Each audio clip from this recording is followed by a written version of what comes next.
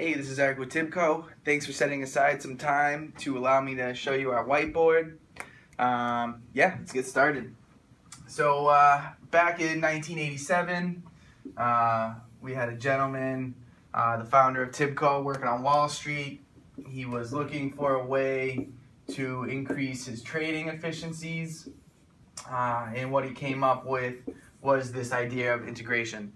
Uh, so he took his ERP systems, uh, CRM, uh, you know, any other inventory, um, all the systems, and he was able to connect them to get them speaking with each other and get information flowing more efficiently. Um, this was revolutionary in its time. Uh, it's called the Enterprise Service Bus. Um, it was a very technologically advanced type of architecture uh, that uh, technology and software would only build off of. Um, so, along with this uh, idea of the service bus, there are a few other parts uh, that were incorporated into it, uh, such as BPM, Business Process Management, MDM, Master Data Management, B2B, uh, you know, business to business.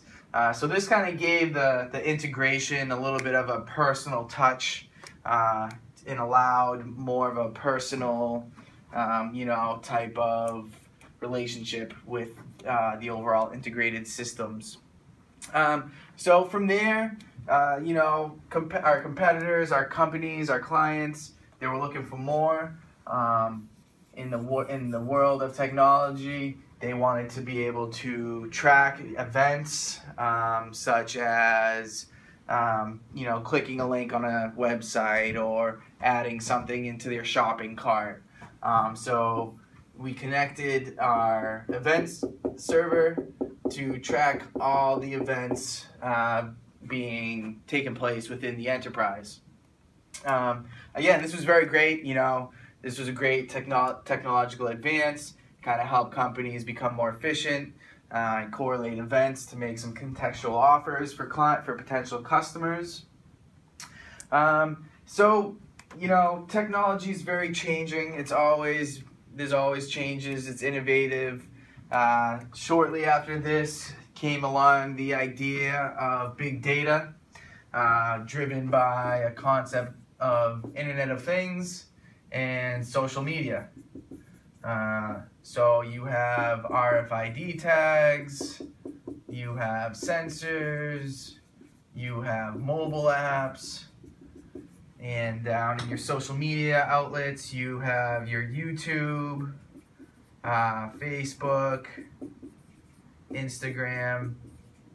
So here you have all this data, all this big data, and you know, no real good way to kind of sort through it and clean it up so a company called Hadoop came along and kind of created a way to cleanse the data, organize it, keep it neat, structured, makes it a lot easier to then go ahead and analyze that data.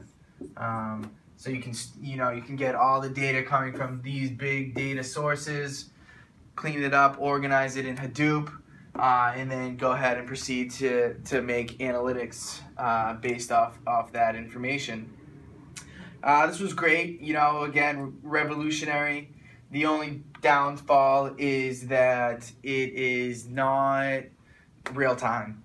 Uh, so unfortunately, when you when you're just analyzing with this model, uh, you're not looking at the most recent information. This is information that could be a few minutes old, a few day old, a few days old, a few months old. It's not real time. So our competitors and our customers, they wanted to be able to have a streaming uh, analytic uh, platform. So we come up with Streambase. And what this does is it takes all these data points, these data outlets, and in real live time can track them and uh, you know you can kind of use that to, to also bake your base your analytics off of as well.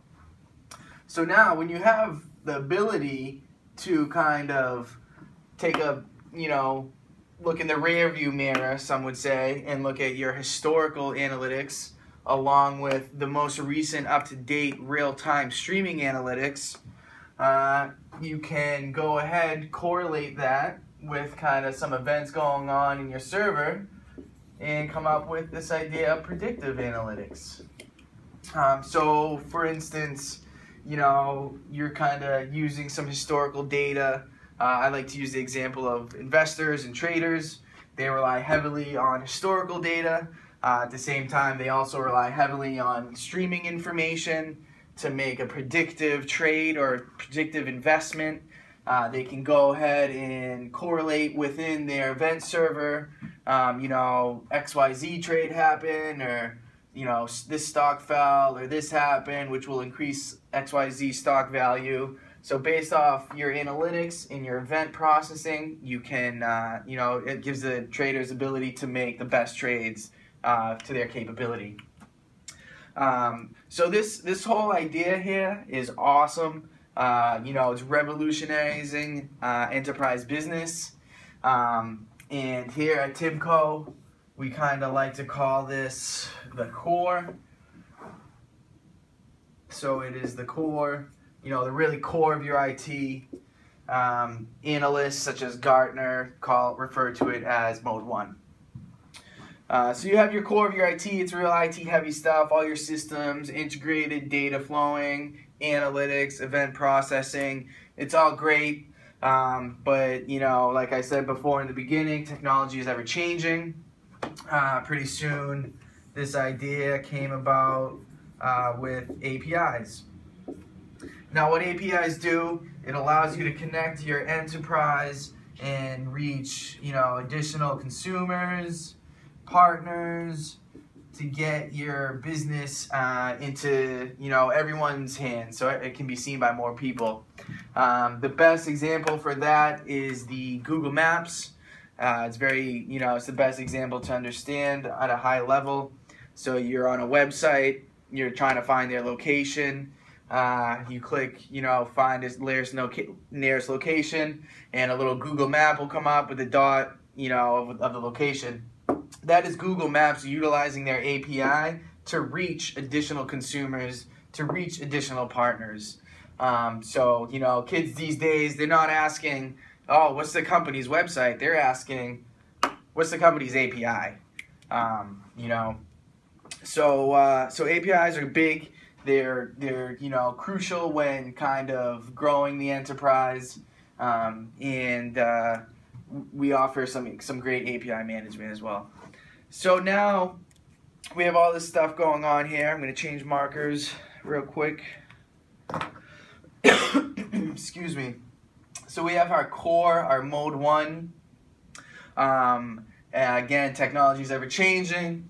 Come up with this idea of the edge. All right, so we have the edge down here. What's the edge? Uh, referred to as by analysts as uh, mode 2. So down here in the edge, you have all your cloud first companies.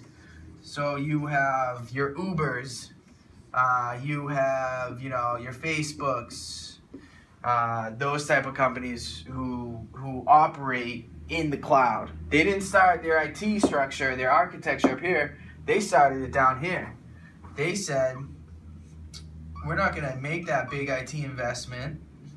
Instead, we're going to run everything in the cloud. Cloud first approach, revolutionary, revolutionized business industry as it is today. Uh, so the whole the whole idea with this cloud first initiative is to be able to build things and build them fast, be able to fail fast or succeed fast, and then on to the next project. Uh, we call this DevOps kit allows you to build, test, and deploy various um, different services within your cloud uh, and allows you to to stay agile um, with uh, current trends. So you have these what we call digital native companies.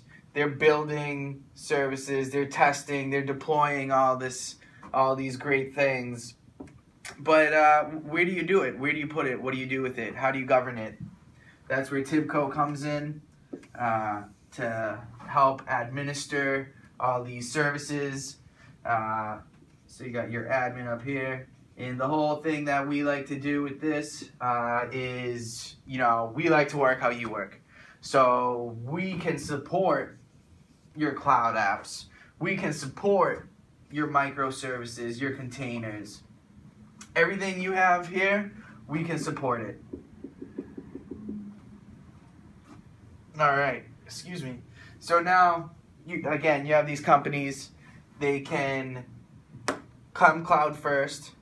They're agile. They can make changes, build, test, deploy quick through DevOps, and they they have a place to house it all, to administer it all, and we can support that. We work how you work. So now, again, this is this is revolutionary. Companies, the newer age companies, they all want to be down here uh, and not necessarily start start up here in uh, mode one. So to to accommodate you know this this change in technological architecture, we also updated our uh, pricing model, our schedules. Um, so we have more of a flexible pricing model. Um, it includes perpetual licenses um, subscription licenses, and also usage licenses. Uh, so we can we can really match any of your needs, and we also offer a suite pricing model um, that gives you the ability to use all our connectors, all our adapters, add-ins, everything. Uh, you can kind of pick and choose what you need to use, and it's all included. Um, so now what we're seeing is we're seeing a lot of companies trying to make the jump to from this cloud or from your core to the edge and vice versa. So uh, what we're seeing is companies want to put cloud services integrated into their enterprise. Anything as a service. We support that. They want to get their DevOps up in here to make them more agile. We support it. Their microservices, their containerization of microservices, we support it. All of this, Tibco supports. We can support you here, we can support you here, and we can support you, do, uh, you know, making a transition from either or. Um, so uh, you know, this is this is kind of where we're at now. This is our whiteboard and our approach. Uh, I hope you you know enjoyed it. Feel free to ask me any questions, and uh, I look forward to working with you in the future. Thank you.